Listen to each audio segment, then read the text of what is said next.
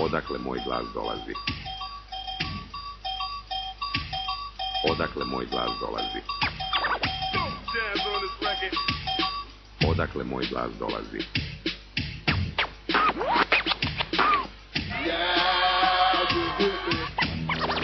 Calling me a sucker boy, you pushing the broom.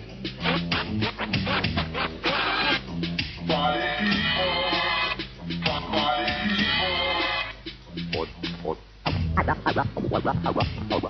odakle moj glas dolazi?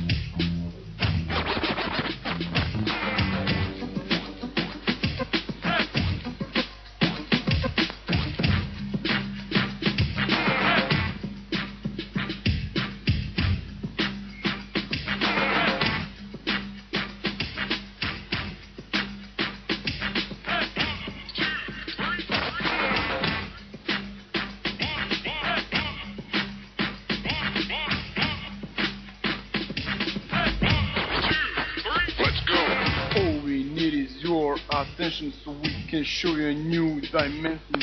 My connection is ready for action. The beat and the rhyme is my section. I've got a strong beat and I just can't break it. Something's on my mind and I just can't shake it. I need some time and I want some space. I gotta get away from the human race. It's time for you to ask for more. This rap you have never heard before. There is no any secret that came from the street. All you have to do, feel the beat. Moj glas dolazi. What rap is, is it's a reflection of how we are living in America. It's real, more real than a heart attack.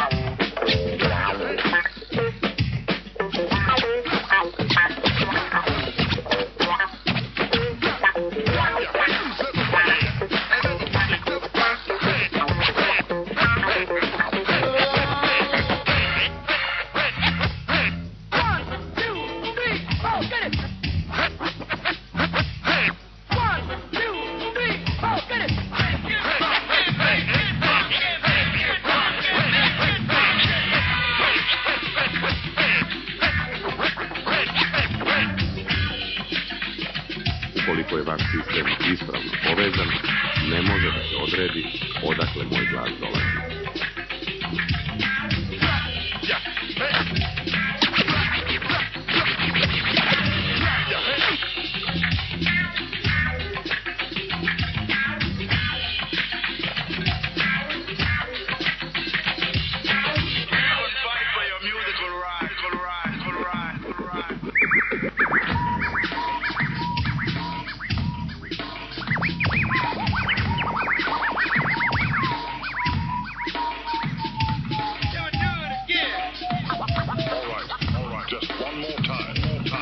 Ne može da se odredi odakle moj glas dolazi.